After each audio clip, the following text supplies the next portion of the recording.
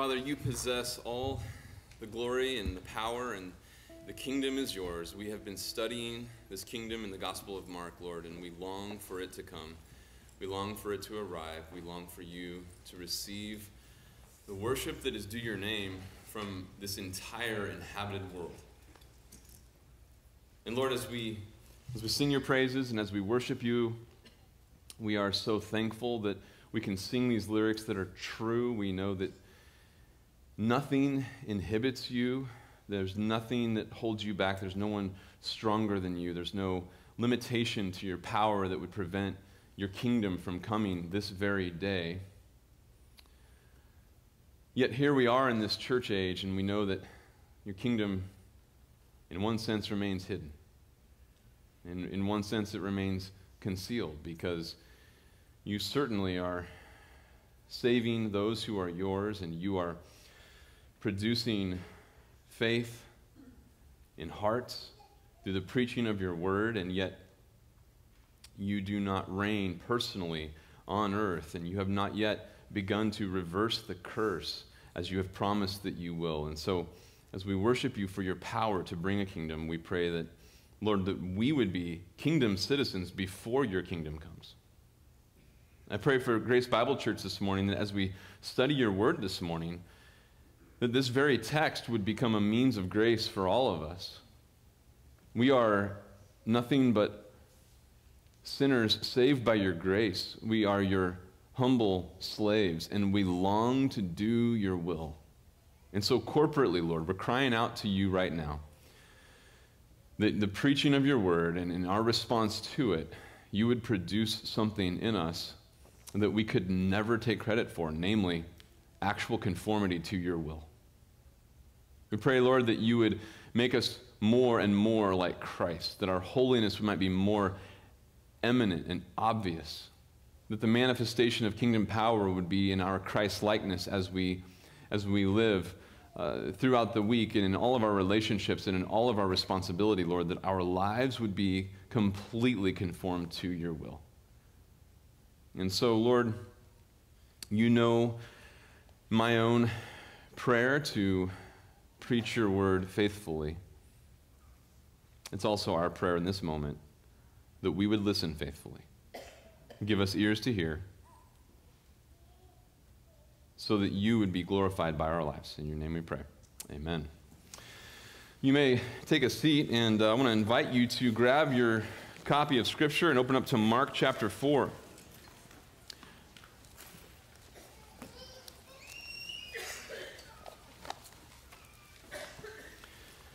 Mark chapter 4, we're going to dive back into this text that we've been studying. And I want to just begin by directing your attention to something that you probably don't often think about, and that is the human ear. I don't know when the last time you thought about your ears really was. Maybe it was this morning.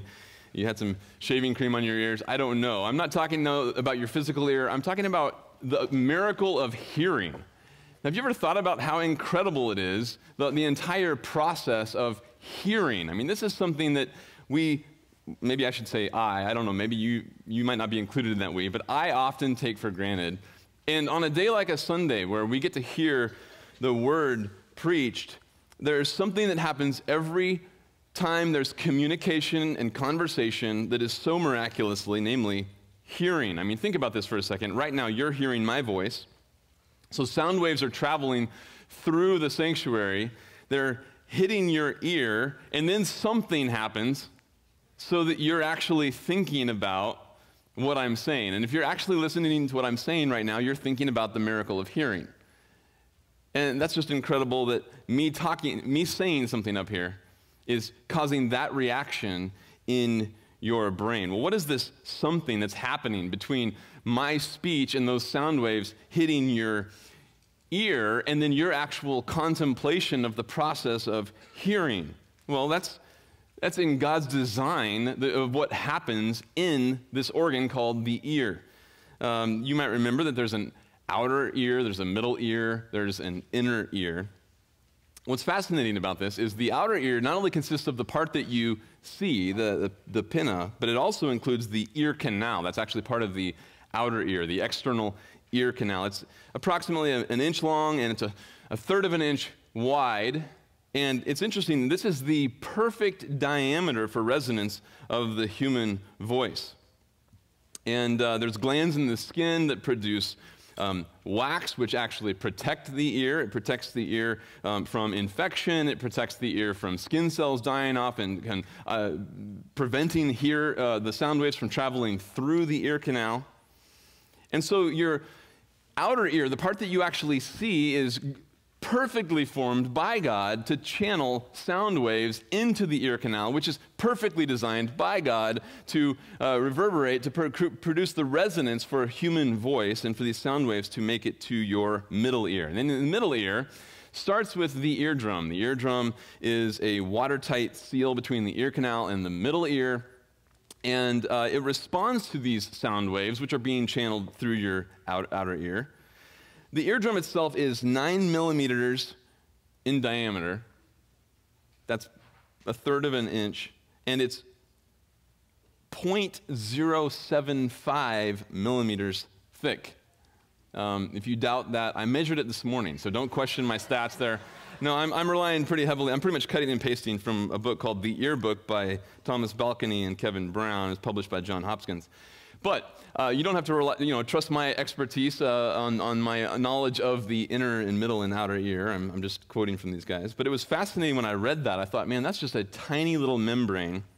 It is covered with some skin, and it's a, it's a fibrous uh, um, tissue with tiny blood vessels inside of it. At the, begin, at the uh, eardrum, the eardrum actually takes the sound waves and begins to vibrate, and it's, it's, it vibrates the hammer. And it's actually the opposite of a, of a drum. We heard drums this morning, so if you think of a stick on a snare or uh, you know, some sort of mallet or a percussionist playing a timpani, well, the hammer, you would imagine the hammer would be beating the eardrum, but it's actually the opposite. The eardrum is reverberating and it's vibrating, and it causes the hammer to vibrate. And the hammer is the first of three bones in the middle ear. The other two are the anvil and then the stirrup. And these are the smallest bones in the human body. They actually are, they have muscles on them which can dampen the sound in extremely loud uh, circumstances. So you think of going to some concert, you, they can actually dampen the sound so you don't do as much damage, maybe some damage. Together, the, uh, the eardrum and the middle ear bones amplify sound about 26 times before delivering it to your inner ear. So now, as the stirrup vibrates, it starts to pass on these vibrations to the inner ear. And the inner ear is composed of two parts the cochlea and the balance system. And we'll just ignore the balance for a second because that doesn't have anything to do with Mark 4. But as, as far as inner ear goes, the cochlea is about one centimeter across. It looks like a nautilus shell, and it has um, three fluid containing compartments arranged in a spiral. And there are, get this, 15,000 hair cells in each cochlea. And these are moved um, by the vibrations of the inner ear fluid. So that inner ear fluid is taking the, the, the vibrations being passed through the middle ear, and it's causing the, the fluid to move. And these 15,000, each chamber, so 45,000 hair cells, uh, in, picking up that, that shaking of the fluid, and it transmits that to the brain.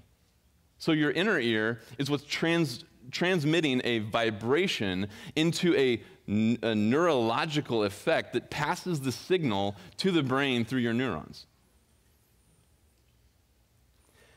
How do you know if someone's listening? Have you had one of those moments where you, in a moment of sheer genius, have the greatest joke ever known to mankind, and you deliver it with perfect deliver- delivery, and the person just stares at you? You're thinking, well, I got two options here. Either, either I'm right, and that's the greatest joke ever told, and uh, they're not listening, or it was a bad joke. Well, which one is it? Sometimes it's hard to know if somebody listening or not. I mean, think about you know preaching. I learned a long time ago to not judge um, whether somebody is listening by, by their response. Uh, you know, sometimes, uh, you know, sometimes people uh, have like this, this look, I like to call it the, you know, the screensaver look. It's just like, it's just like you're, you're kind of wondering, is there anything, anything cognitive, anything cognitive happening there? And, you know, you, you, you, see somebody, and I'm not thinking of any of you, I'm thinking of other congregations. Um,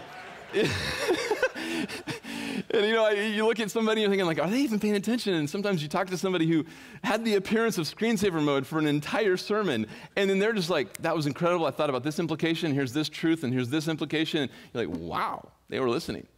And then there's other people who I'm convinced like their screensaver mode is this. And then you talk to him afterwards and you're like, oh, I didn't, I, didn't, I didn't know you were preaching. Like, what was the, I don't even know what the sermon was about. And it's just interesting how difficult it can be to know is someone listening.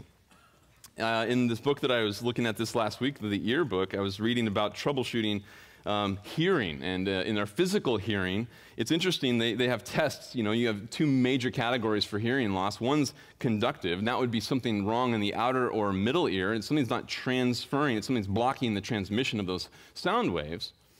Or sensorineural, which would be a deafness because the inner ear is actually not translating those sound waves that are getting there to the neurons. And so those are two, two ways that they have to look and, and troubleshoot uh, where the loss in hearing really comes from.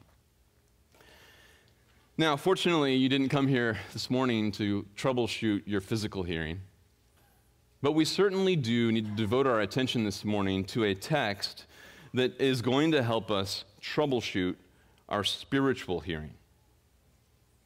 I pray that you are ready to consider and evaluate your spiritual listening ability, your spiritual hearing, your spiritual receptivity, your spiritual perception, your spiritual discernment, your ability to receive the word rightly.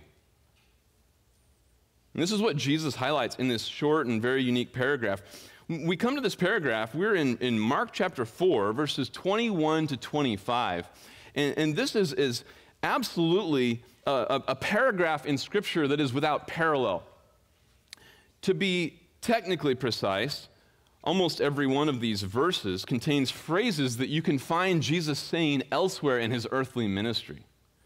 But to be perfectly honest, there's nowhere else in Scripture that compile, where, where Jesus said all of this to prove this particular point. And so some of these might be common axioms, common word pictures, word plays that Jesus has used in other contexts. It's really only here where we have this paragraph recorded in such a uh, punchy and succinct fashion where Jesus was using some obviously familiar word pictures to put them together into this lesson for us to consider how do we listen? If I can offer one more parallel before we dive in, one more parallel between physical hearing and spiritual listening. When it comes to our physical hearing, sometimes we might imagine that uh, hearing loss or damage is only being done to our hearing when we experience um, pain in our ears, and that's a myth. In fact, it's interesting, I, I read this week, some damage can even occur at 85 decibels, but pain won't really be noted until right around 110 decibels. And so I thought about the interesting dynamic that we can actually do damage to our physical hearing before we experience pain in our ears.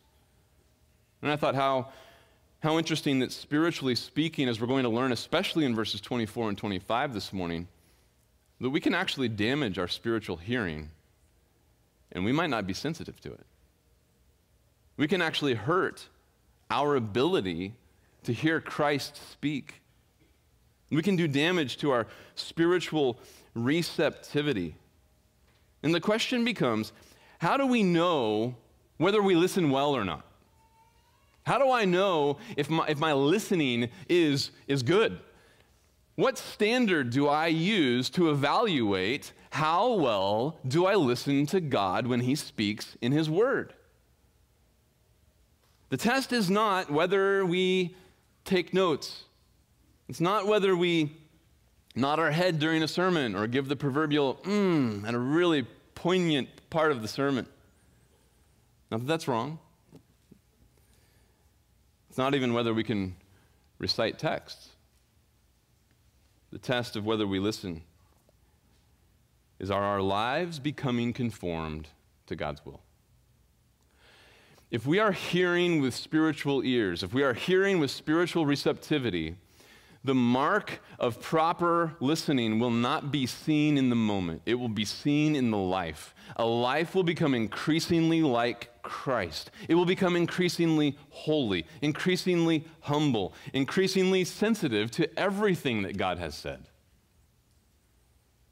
And so, are our lives being conformed to God's will? That is the spiritual test of proper spiritual hearing. Let me read the paragraph. Mark chapter 4, picking up in verse 21, and we're going to read all the way through verse 25. Follow along as I read. And he was saying to them, A lamp is not brought to be put under a basket, is it? Or under a bed? Is it not brought to be put on a lampstand? For nothing is hidden except to be revealed, nor has anything been secret, but that it would come to light. If anyone has ears to hear, let him hear. And he was saying to them, Take care what you listen to. By your standard of measure, it will be measured to you, and more will be given you besides. For whoever has, to him more shall be given, and whoever does not have, even what he has, shall be taken away from him.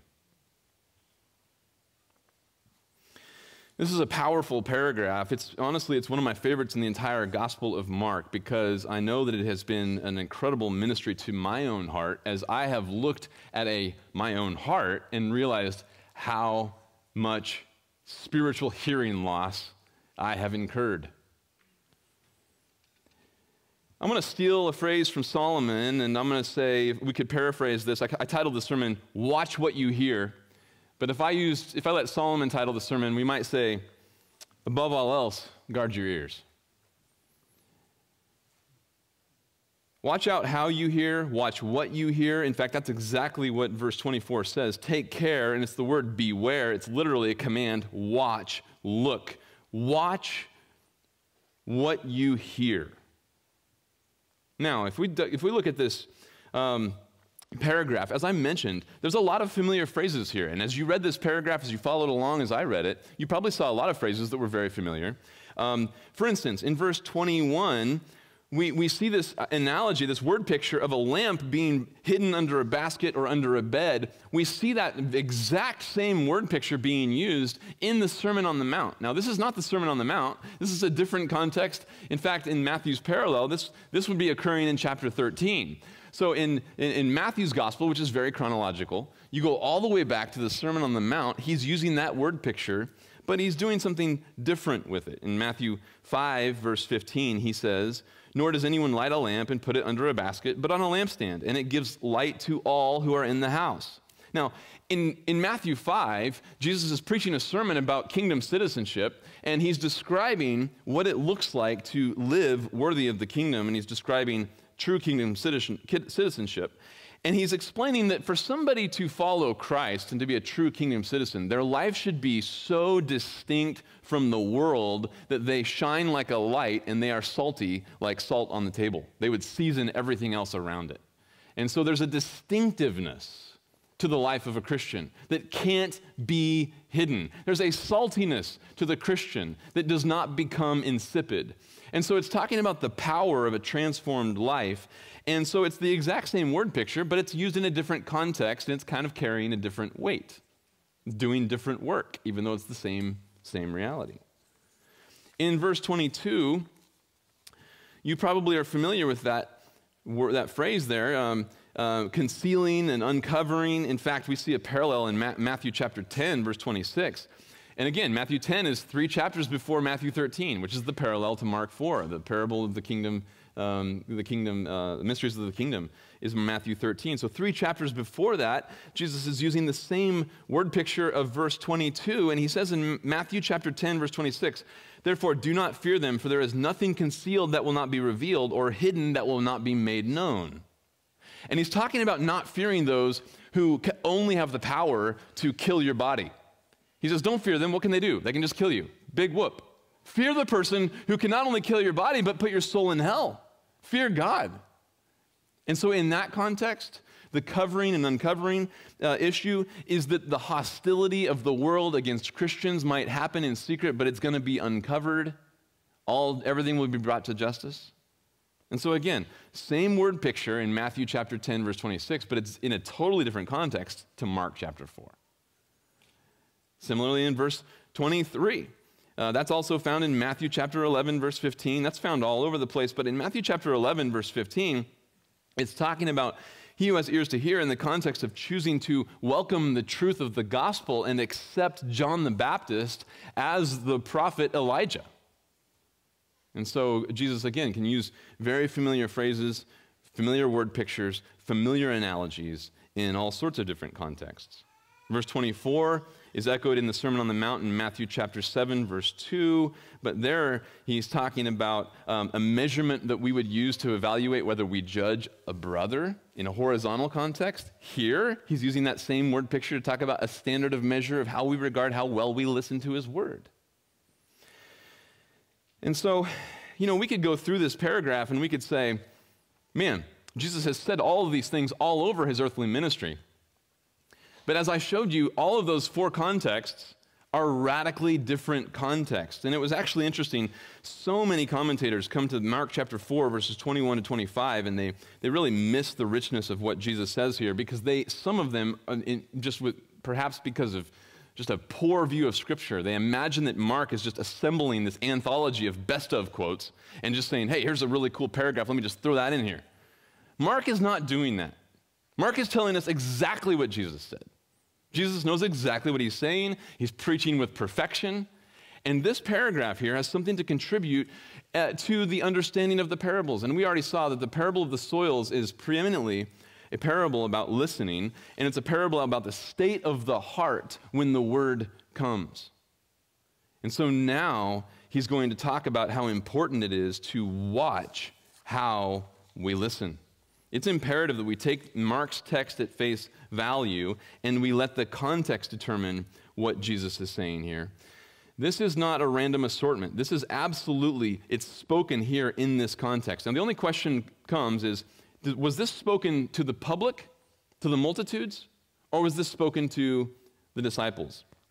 And let me give you just three reasons. I think this was spoken to the, to the public. I think it was spoken to the multitude uh, that, that you see in chapter 4, verse um, 2. He was teaching them many things in parables, and he was saying, saying to them in his teaching, Listen, behold, the sower went out to sow. And so in, there you see that he's preaching publicly to this great multitude. In chapter 4, verse 1, it's called a large crowd, this very large crowd. So the parable was told publicly. And then, as we saw in chapter 4, verse 10, all the way through 20, he's speaking privately to his, his followers. That includes the 12, and that includes all of those who are followers, the insiders, those who are believing Christ, and they want to know more about what he said. They want to, they want to hear with understanding. He discloses to them the meaning of the parables. And so, here in chapter 4, verse 21, Mark switches. He goes back to kind of the, the background uh, of the story, and he tells us some more information we need to know about how, what he explained to the, the disciples in verses uh, 13 to 20. And so he switches back to that same, same tense that he uses to tell all the rest of chapter 4. And so, really, it uh, puts it in the same category as everything else that was told publicly. Secondly, and the other reason why I think this is spoken publicly is because in verse 3, and then again in verse 9, we have the charge to listen. The command in verse 3 is listen to this. In verse 9, he was saying, He who has ears to hear, let him hear. Then in chapter, 20, uh, chapter 4, verse 23, if anyone has ears to hear, let him hear. And so he keeps reminding them that you must listen. It's, you're ob- obligated to listen. And he's conditioning it upon having ears that hear. And so this would make sense that this would also be a public charge to the multitude. Basically, an invitation to become an insider, an invitation to come get explanation, an invitation to come get more understanding, and to uh, not squander the privilege of understanding the meaning of these par- parables. Third reason is because in verse 21 to 25, if you read it without Mark 4, it would be so difficult to make sense of. It's very enigmatic. It's told just like the parables because there's not a lot of explanation, and we actually need the explanation of the parable to make sense of verses 21 to 25. It reads, it, matches 426 to 29 and, and verses 30 to 32. It's concealed language, it's parabolic language. And so this would have been something that was told to the multitude. Verse 21, let's pick it, up, pick it up and let's dive in and look at these details. He starts by asking them two questions. The first one expects a negative answer, the second one expects a positive answer. Notice what he says A lamp is not brought to be put under a basket, is it? Or under a bed? And the answer is obviously no. I mean, we understand the, the, the obvious point of this, this question. When he says lamp, what would have come to their minds was a clay terracotta, um, terracotta lamp. It would have been filled with oil, set with a wick and you could light it, you could lengthen the wick, shorten the wick to make it brighter or more dim. But you wouldn't go to all the work of pouring oil into the lamp and then lighting that wick if you were just going to place it under a basket. The word basket is the Greek modion, which would have been a, a peck measure. And if you don't know what that was, how can I even explain it? I, I, didn't know what that was. I looked it up. So it's 2 point, um, or 8.75 liters, 2.3 gallons. So you just picture like maybe two milk jugs or, uh, or like a milk jug size, you know, just like a little, little basket. And just cover up that lamp with this basket. What would that do? Nothing. It's pointless. You go to all the work to light the lamp and you put it under this, this bed. And the word is, it's used as a cot, a stretcher, a pallet. It's even used for uh, where you would recline at the dining room table. So imagine going to all of that work to light this lamp and put it under a basket, to put it under a bed, to put it under a cot. It would not illumine anything in the room. One time I illustrated this to my boys by um, I, put, I took their trash can, which was, which was solid metal, and I put it over the light in the ceiling and then flipped the switch, and it made no difference. Like, okay, is the light on or off? I don't know. Flipping it. It's pointless. It's absolutely pointless. Imagine, imagine the, a conversation taking place. We're going camping, son. Make sure you bring the flashlight. But when you turn it on, make sure you cover it so close that no light gets out. What's the point? Of course, you don't do that. Second question isn't it brought to be put on the lampstand? Don't you go to all the work, pouring the oil, putting the wick in, to put it on a lampstand so that it actually illumines the room? So there's actually a point, it actually accomplishes something? Isn't that the whole point?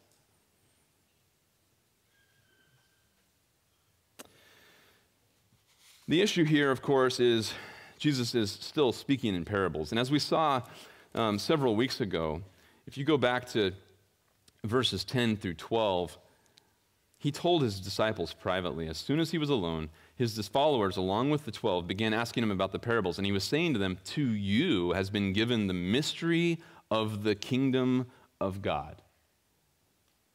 But to those, those who are outside, get everything in parables, so that while seeing, they may not see. I'm sorry, while seeing, they may see and not perceive and while hearing, they may hear and not understand. Otherwise, they might return and be forgiven. The issue here is that Jesus is actually teaching about mysteries of the kingdom. He is actually communicating truth about the kingdom that couldn't be known unless he chose to reveal it. And so he is actually revealing something here, but it is concealed and it's concealed from the outsiders, and it is judicial because they have not responded. And it's also gracious because they have not responded. But he still has truth to reveal to the insiders, and so he does it through parables. And so the point here is that Jesus is making this question about why would, in other words, you could ask the question, why, why are you even speaking, Jesus? Why are you even talking? Nobody talks so that the truth would never be made known, so that true communication never happens. You talk so that communication actually does happen. And so, in the context of parables, he's kind of asking the question so, what's the point here? And if, if we're going to benefit from this paragraph, I would encourage you to consider what it means to, to watch what you hear. I would encourage you to consider what it means to, above all else, guard your ears. And, and the first thing we need to do, especially from verse 21 to 23, is we need to, to consider to consider the nature of revelation. The nature of revelation. Jesus is revealing truth in a concealed manner here because truth has already been rejected by the masses. And so he asks the question in verse 21 to remind us there is a purpose to his communication. Don't forget that at all. But to really understand why he's asking the question, we need to go to verse 22 because verse 22 starts with the word for, and this really explains it. It explains why Jesus is pointing out that these parables are being spoken. He is going to put truth on the lampstand, even though now it is hidden, even though now it is concealed from the masses. Verse 22 explains For nothing is hidden except to be revealed, nor has anything been secret but that it would come to light. This is an interesting verse. One commentator said, Truth is hidden in order to be manifested, concealment intends disclosure. And, and, that is just hard for us to get our minds around. What in the world? I mean, let's start with this, this question. What is being referred to here? What is being concealed and what is being revealed? Well, we saw from verses 10 through 12 that what's being concealed and revealed is are the secrets of the kingdom, the mysteries of the kingdom. Christ is clearly concealing truth about the kingdom in order to manifest those truths. That's just opposite of us. I mean, if we're trying to conceal something, you know, no, nobody, think about it this way nobody buries incriminating evidence under the ground. I mean, you, you put it under the ground so that it'll never be uncovered. You're, you're trying to conceal something, like, I hope this never gets exposed. And Jesus is sitting there concealing something so that something could be revealed. And, the word here is actually buried. It's the same word that you could use for being buried. It's something covered, it's something hidden. Jesus is speaking in such a way that only the insiders will truly hear. So truth is being concealed from those who are not going to listen with ears to hear. They're not going to believe it.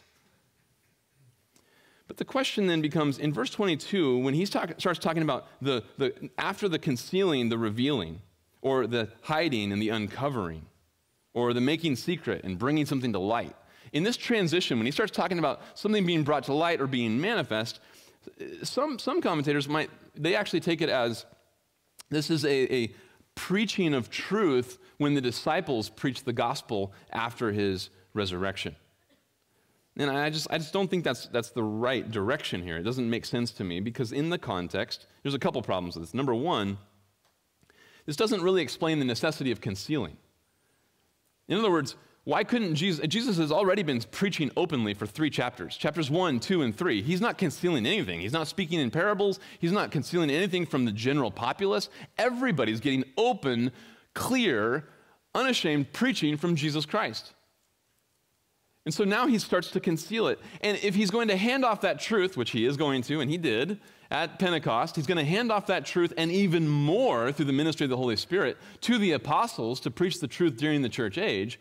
Why is that? Why does that require Christ to conceal truth? It just, just doesn't make sense to me. The second problem with this interpretation is even stronger. The focus on proclamation is not the context.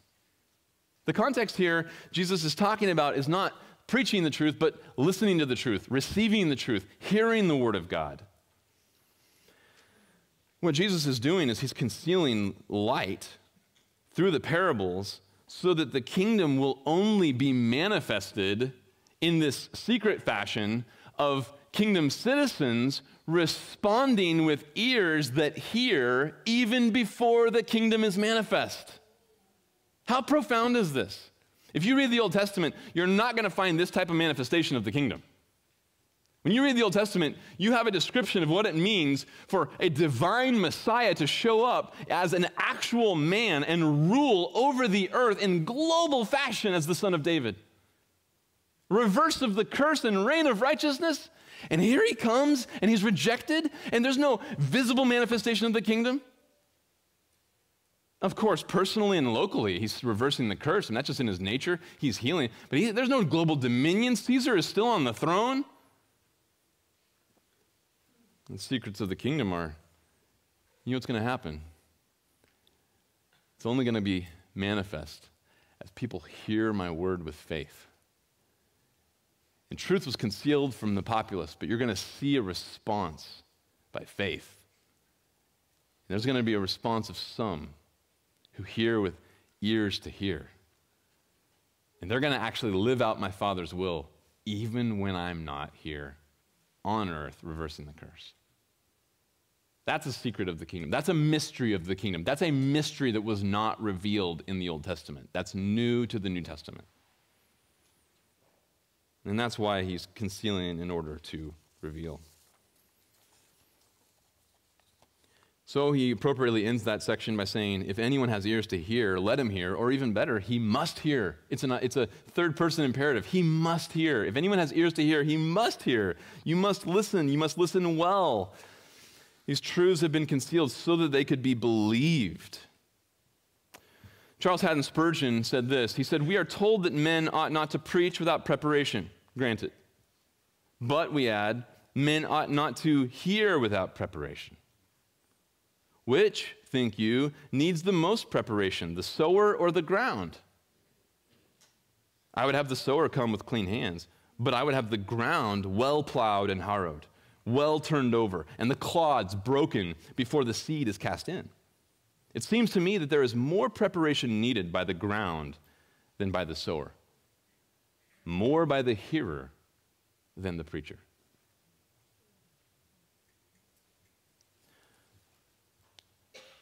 Why are professing Christians so adept at enjoying access and exposure to the Word of God, the gospel, the revelation of the Lord and Savior Jesus Christ, while at the same time, it seems the professing Christians can be so anemic when it comes to fruitful living and clear articulation of that same truth? I'll tell you exactly why. I fear that the American church is far too comfortable ignoring this paragraph. To watch out, to take care, to be on guard about how we listen to his word. What does it look like? Well, I'll remind you of what we looked at back in chapter 3. Who were his, who were his family?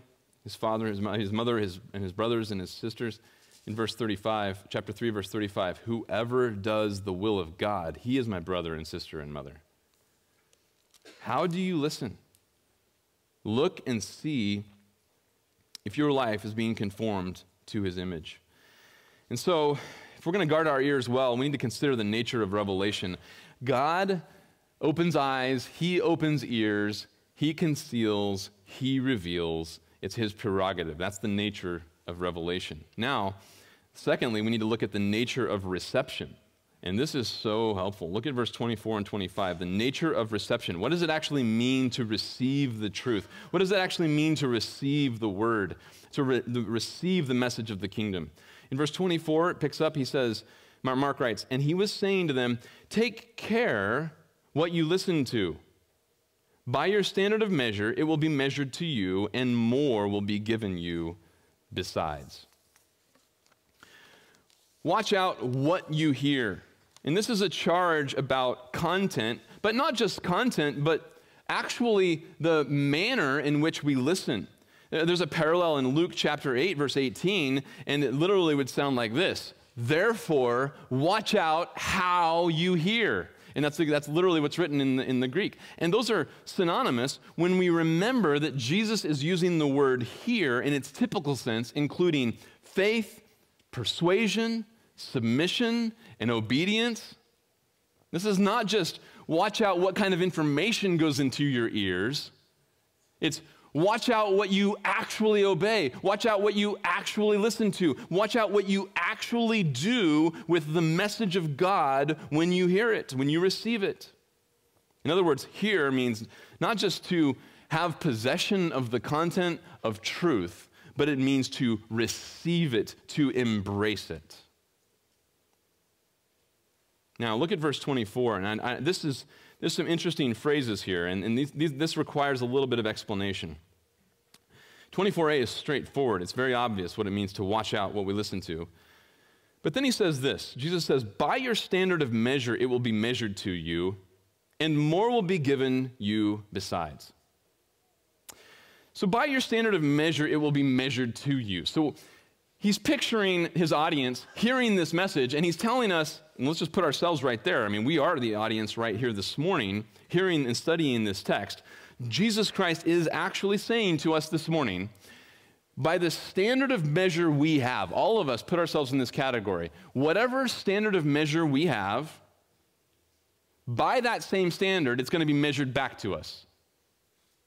So before we even consider what standard for what, we should know that whatever our standard is, is going to be repaid to us. We're going to get back something in an equivalent fashion to what our standard is.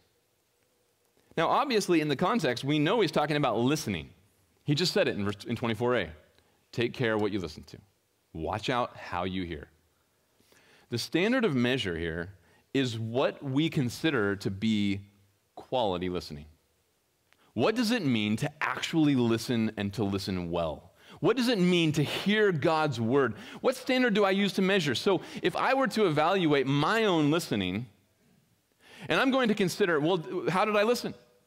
Whatever criteria I use, the, the, severity of criteria that I use to measure how well I listen to God's word is the actual measure that God is going to use to repay back to me.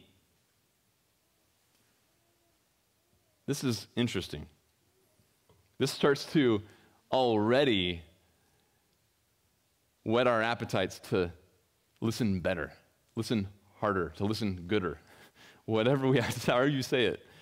I want my listening to be the best. Because I want the blessing, I want the insight, I want the perception, I want, I want the understanding that God would give me from it. And how can I say that? Well, look at verse 25. Verse 25 again explains verse 24. So, verse 24 by itself would be a little bit enigmatic, but verse 25 starts to explain it. The challenge, though, is as soon as I turn to verse 25, you're going to hear another slightly enigmatic phrase. And so you might initially, at initial reading, you might read verse 25 and say, well, that doesn't help. I'm still kind of asking, now I'm asking the question, what does, what does verse 25 mean? But let's just dive in real quick and then we'll connect it to 24. So, verse 25, Jesus says, For whoever has, to him more shall be given, and whoever does not have, even what he has shall be taken away from him. Okay, that, that, that is notably enigmatic until we read it in context. Because the question then we're all asking is we have to identify the haves and the have nots. And so, who are the haves and the have nots? Or, or better, what, have what and not have what? What's the object of what we have? What's in possession that's being discussed here by Jesus in verse 25? And he's already said it explicitly in verse 23. If anyone has ears to hear, let him hear. So, have what? Ears to hear. So just take the object of verse 23, put it back into verse 25 because it's, it's ellipted in verse 25. So notice what Jesus is saying in verse 25. Whoever has ears to hear, to him more shall be given. And do it again. And whoever does not have ears to hear, even what he has will be taken away. You see what Jesus is saying now?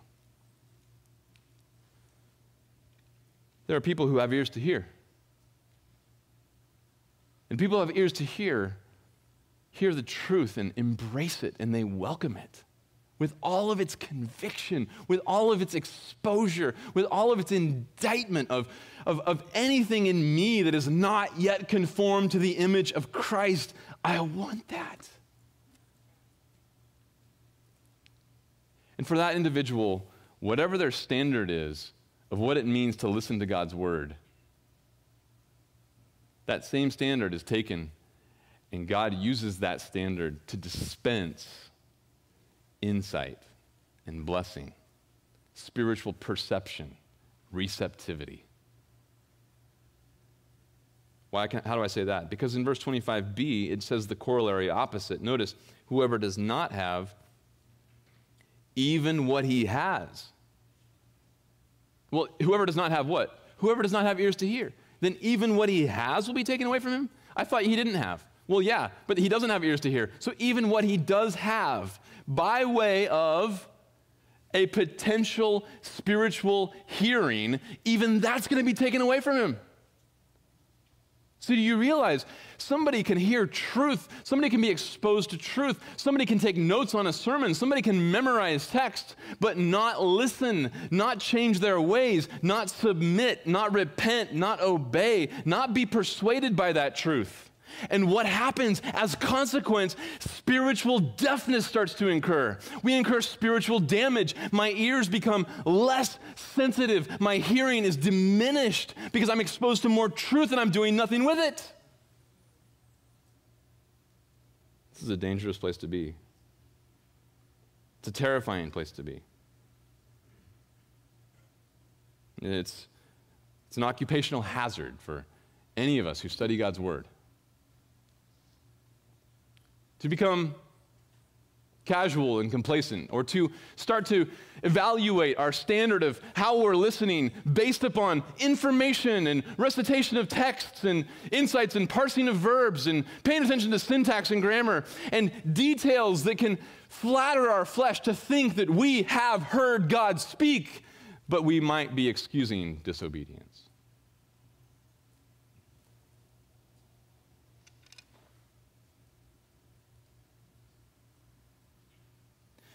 You know, there's a lot of things in life that I enjoy, and sometimes I find myself not counting the cost to take the time that it would take to enjoy them.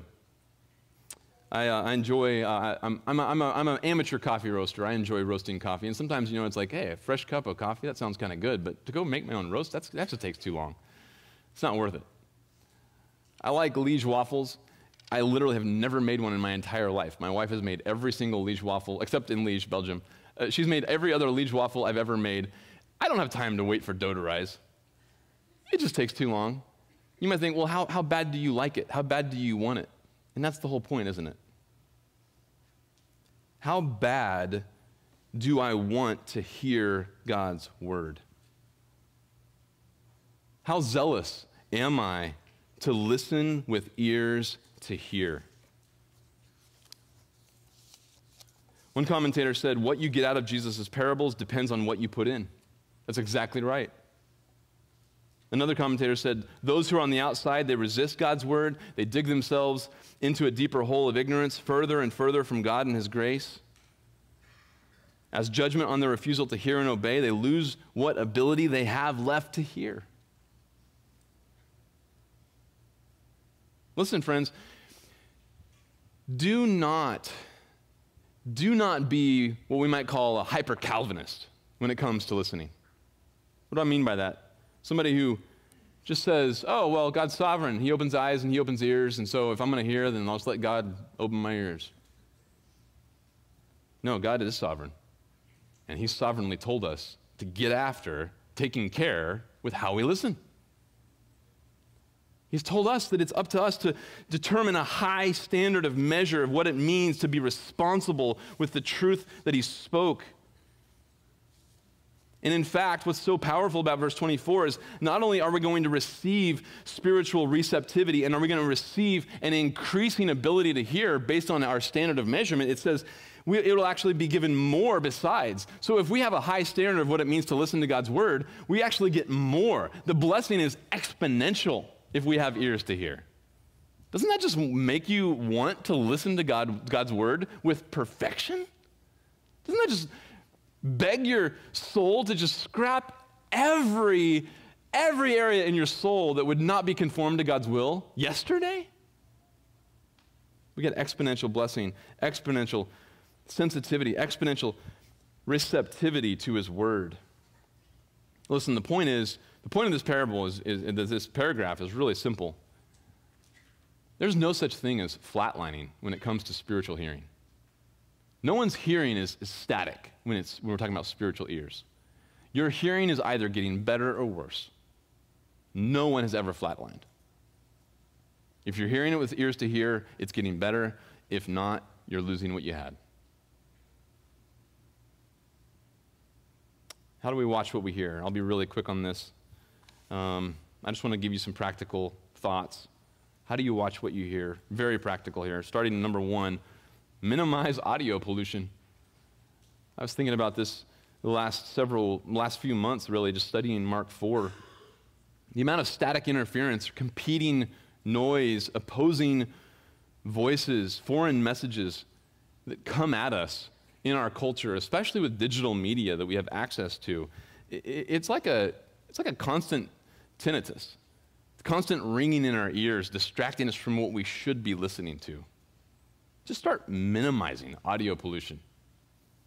Number two, scrutinize every other voice. Scrutinize every other voice. If you don't want to lose discernment, whatever enters your ears, and again, I'm talking about spiritually, whatever enters your spiritual ears, whatever wavelength that's going into your spiritual hearing, you must scrutinize it biblically. Put it through a biblical grid. You have to label what you're hearing spiritually as truth or error, or you're going to lose discernment. Number three, discipline your ears. Discipline your ears. Uh, we live in a digital world where uh, it's really a digital addiction. I mean, have you ever noticed how you know you, you, you have to go buy something uh, on online, and then the next thing you know, every ad has to do with whatever. It's like I bought a pair of socks two weeks ago, and now socks are showing up on everything in my you know wherever I go on the internet. It's like eh, the, the, the, all this digital media is geared towards us and our our desires and what we want.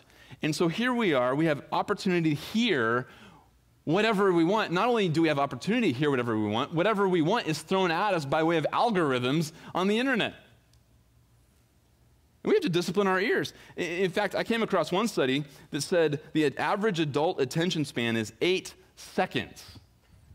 And so, when we live in a world where everything is customized according to our own selfish desires, how much attention does it take to pay attention to something that's indicting us, let alone not flattering us?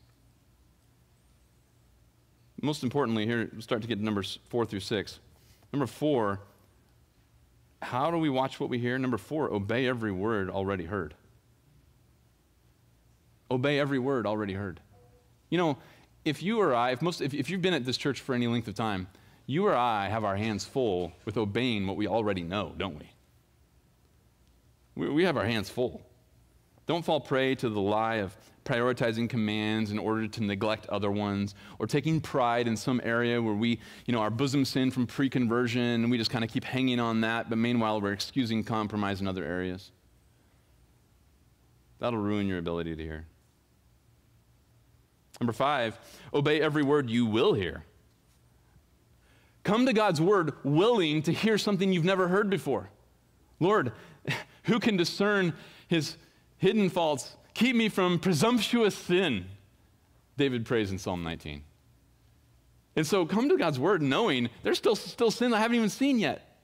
God's still revealing more and more areas where I've not yet conformed to Christ's image. Come to his word ready to hear that. Number six, hate every violation. Look, Josiah tore his garments when the law was discovered and he realized that the nation had not obeyed his word. He says in 2 Kings 22, verse 13, Our fathers have not listened to the words of this book to do according to all that is written concerning us. And he tore his, he tore his garments. If you want to listen and listen well, if you want to guard your heart and watch your ears above all else so that you keep hearing spiritually, hate every manifestation where you have not listened well to his word. Believer, consider this positive and negative in verse 25. If you have ears to hear, your spiritual insight's increasing. If you do not, then the more exposure to the truth, it's only, it's only hurting your spiritual receptivity. And don't evaluate whether you listen well by a response to the word 10 years ago, uh, let alone last year. Evaluate your listening by how well you are currently obeying God's will. Father, we thank you so much for this reminder to watch what we hear. And we come before you just asking that you would indeed answer our prayer from the beginning, that that would be true of us as a congregation. And that's going to require it to be true of every, every member of Grace Bible Church. We, we long to be those who hear and who hear well. Lord, perhaps, um, perhaps it's appropriate as we close our time in, the, in this singing your, your praises, perhaps it's appropriate to quiet our hearts for a moment and just to acknowledge, Lord, um, anywhere that we have not conformed to your will, where we have known your will, well, that, that's, a, that's no doubt a stubbornness. And that, no doubt, is a direct reflection of a very low standard of what it means to listen well. Lord, thank you for this incredible, incredible reminder. I pray as your children that our standard of measure would have been have grown exponentially just simply from looking at this text and it's going to require conviction for that to play out. Lord, give us the faith. Give us the faith to count the cost that we would raise the bar on what it means to hear your word and what it means to listen to you. Perhaps as we've talked even about compromises that would diminish our spiritual hearing, and perhaps some are even aware that there might be there might be radical decisions that need to be made this very week, if not even this very moment, so that we would listen and listen well. Lord, there's just nothing more important than how well we listen to your word.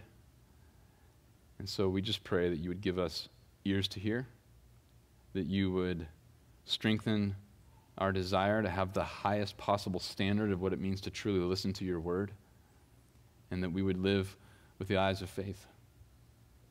I pray, Lord, that we would even believe what Pastor Smed has taught us this morning in the equipping hour, that we would look forward to see a reward a reward based on the foundation of truth, based upon our labors, based upon our fidelity, not even based upon our fruit.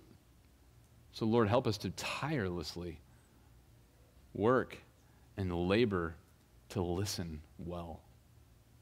Cultivate in us true humility, true holiness, true Christ likeness, so that a watching Phoenix would see a church full of Christians, little Christs, who live distinct, who live salty and brilliant lives, flavorful and totally distinct from the world that has no power over lust or pride, selfishness or laziness. That they would live for your glory. So, Lord, thank you again for this reminder, and we just pray that you be honored as we sing this song to you and to your glory.